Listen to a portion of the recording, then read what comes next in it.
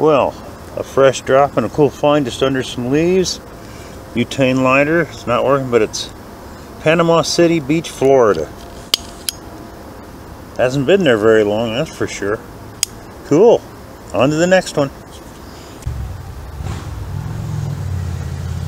Chunk of steel wire, coated. I gave up a weird signal. On to the next one.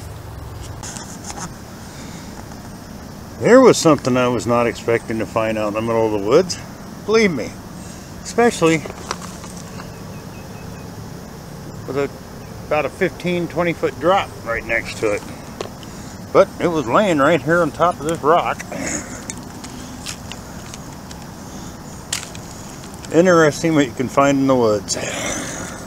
On to the next one.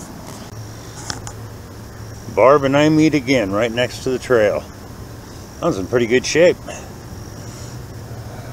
But we got to stop meeting like this, Barb. On to the next one. Yeah, about 50 feet off the road, it gets pretty steep on this hillside, so I'm slow going, but got me another surface find. They're actually in pretty good shape. Clean them up, they ought to work nice. On to the next one. Well, folks, I think I'm going to call it a morning. I uh, worked along a ridge here.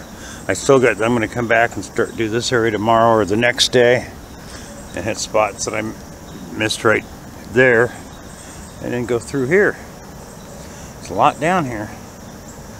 I'm not finding a lot, but I do find stuff.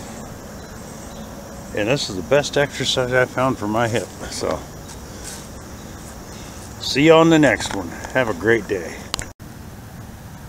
Okay, not quite finished working my way back up to the road. I got this signal. That is an old oil can lid, or it could be a beer can top too. Beer came out in, in cans like this. That's a cool find. That means there's old stuff on this ridge still. Anyways, see you on the next one.